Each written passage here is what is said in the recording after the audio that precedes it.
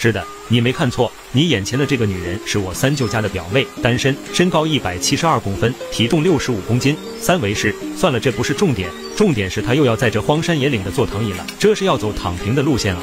说话间，表妹又看来了一捆竹竿和一个 V 字形木棍，把竹竿都锯成五十公分，在竹竿上都开一颗小孔，用小红绳绑上。表妹这是要整什么幺蛾子？话音刚落，表妹就开始往竹棚上挂。哎，等等，这是不是有点像风铃？表妹的这一装扮显得逼格提高了不少。下面开始进入正题，做躺椅，先把外皮去掉，显得干净一些。把长木棍锯开，比划一下位置，用手锯开槽。把木棍钉上，妥妥的一副椅子架搞定。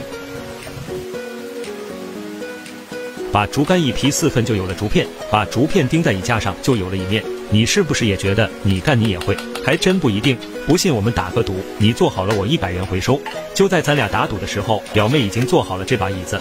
坐上去试一下，舒服的很。接下来打造小饭桌，直接擎天柱上开三个孔，穿进去一根木棍当转轴，三根钉在一起做个框架，把剩下的竹片钉上去做成桌面，把桌面钉在转轴上，下面用一根木棍做支撑。你是不是也觉得很简单？还是那句话，你干不一定会。把椅子搬上来看效果，自然是完美的，没得说。干了一上午活把表妹的腿都弄脏了这要是在家里三舅估计会心疼的不得了表妹可管不了那么多直接来上一杯山泉水躺平休息爱谁谁